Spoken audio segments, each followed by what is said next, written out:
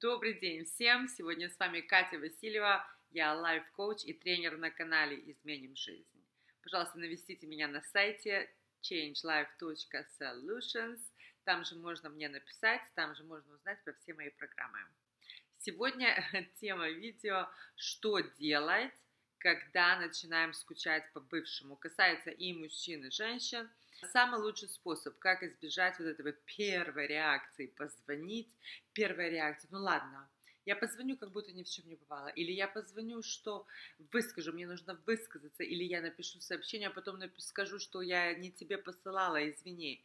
Любая, э, любой контакт будет расценен как ресурс. Поэтому сегодня я вам скажу одна из таких интересных техник, что можно сделать, что я советую вам сделать, когда вам хочется позвонить бывшему. Оставайтесь со мной. Ну хорошо, сегодня не длинное видео, сегодня одна техника. А, родилась она у меня а, в нашей группе «Любить не страшно». Я посоветовала это сделать одной из своих подписчиц, которая писала, что все, приплыла, у меня откат, я должна ему сказать, я должна ему высказать, и как будто этим закончится э, вся история, правда? Это называется в психологии незаконченный гештальт, когда книга не закрыта, когда осталась какая-то там болтающаяся страница, и вот вы все-таки не чувствуете себя услышанной, понятой, и, и мы начинаем начинаем писать, и начинаем оправдываться, или начинаем наезжать, или что бы мы там не хотели ему сказать. Сделайте так. Напишите сообщение. Все, что вы хотите сказать, напишите, напечатайте это сообщение. Чем вы там пользуетесь? WhatsApp, Viber, SMS, чем угодно. Напишите, но не отправляйте. Даже факт того, что мы передали свои эмоции э, бумаге, или, да, ну, черному по белому написали, это все из нас достали, это все написали, вам уже станет лучше. Но не нужно делать такую ошибку и это сообщение отсылать. Написали, но не отослали. Переключили свое внимание, пошли, приняли ванну, пошли сходили, погуляли с подружками. И помните, такая мудрость народная, а, утро вечером мудренее. Вот здесь оно реально будет мудренее. С утра проснетесь и прочитайте, что вы написали. 90 из 100 процентов вы сами себе скажете, что я молодец, что я это не послала практически стопроцентное попадание. Потом вы себя похвалите, потом ваша, э, ваш мозг привыкнет к тому, что, ой, я молодец, что это не послала, я не совершила ошибку вчера. Потом, я не совершила ошибку прош... на прошлой неделе.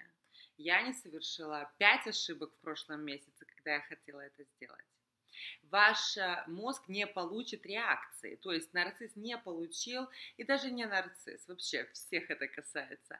Человек не получил от вас информацию, он не получил это смс. Хотя вы думаете там в подсознании, что он получил. Ответа этот человек вам не даст, потому что этот человек не получил смс. Это называется двойной блок.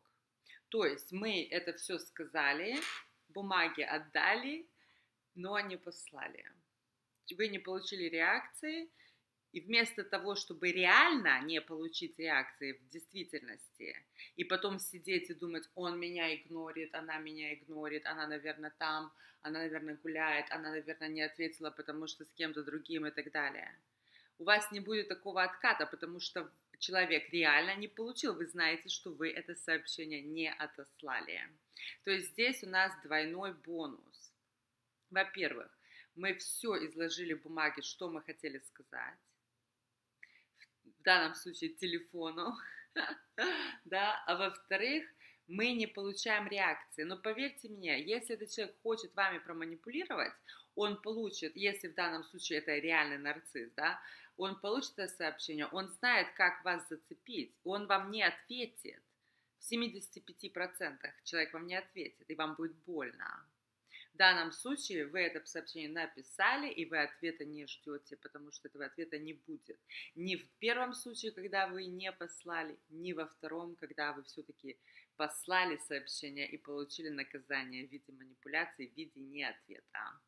Вот, пожалуйста, попробуйте. Вы себе сами понравитесь, вы себя поблагодарите, вы себя похвалите за то, что я молодец, я это дело не послала, я не облажалась, я не показала, что мне больно, я не показала, что я психую, я не начала оправдываться, себя защищать, и я не высказала ему, какой он идиот. Я молодец. Все, пошла я сама себя баловать, потому что я молодец. И, пожалуйста, помните, вы все молодцы, мужчины и женщины. А, у меня есть видео, где я рассказываю про а, женщин, которые портят отношения, даже не женщин, а наше воспитание. Нас не научили мамы, как нужно обращаться с мужчинами. И на прошлой неделе вышло видео для мужчин, чего мы, женщины, хотим и как нас нужно любить. Пожалуйста, нажимайте здесь на вот эти линки, подписывайтесь к каналу, я вас очень люблю, целую. Всем огромное спасибо вам за ваше время и ваше внимание. Всего доброго, до свидания.